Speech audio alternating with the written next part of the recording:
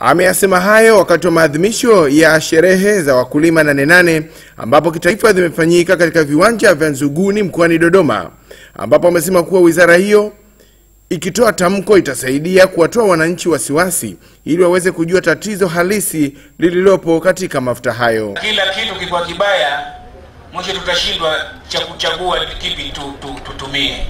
Mara moja nilisoma gazeti nikaambiwa kwamba nikasoma kwamba maharage yanasababisha kansa. Sasa tukasema hivyo, Tanzania maharage ndio chakula chetu.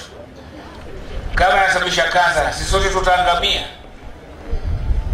Kwa hivyo, kwa hiu ubuyu, mafuta ya ubuyu ambayo na mimi nimewahi kuyatumia, naomba sana Wizara ya Afya na wataalamu wake watusaidie ili watupatie jibu la uhakika.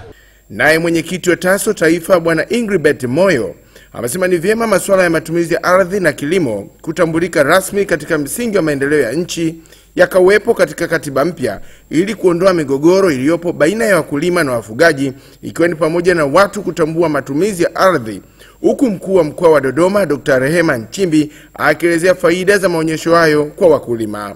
Ili kupunguza, kuondoa na kuzuia migongano kati ya wafugaji wa watumiaji ardhi, ardhi ya kilimo na mifugo itambuliwe kikatiba na, na hivyo baadaye iwe kisheria. Katiba mpya iweke mwongozo unaojulikana na watumiaji wote, wakulima, wafugaji, wanavijiji, wawekezaji, kuhusu umiliki wa ardhi na taratibu za matumizi yake. Na maadhimisho ya kilimo kitaifa hapa yamekuwa ni darasa bora na limekuwa ni kitovu cha elimu lisilo na mfano la mafunzo ya kilimo, ufugaji, uvuvi na ushirika. Nane Nane ni fursa ya kujifunza, ni fursa pia ya kufundisha na ni fursa pia ya kutengeneza soko, kwamba Nane Nane inawakutanisha wakulima na wafugaji wakubwa, wakati na wadogo. Kila mmoja anajifunza na kujipima kutokana na kuwepo kwa mwingine.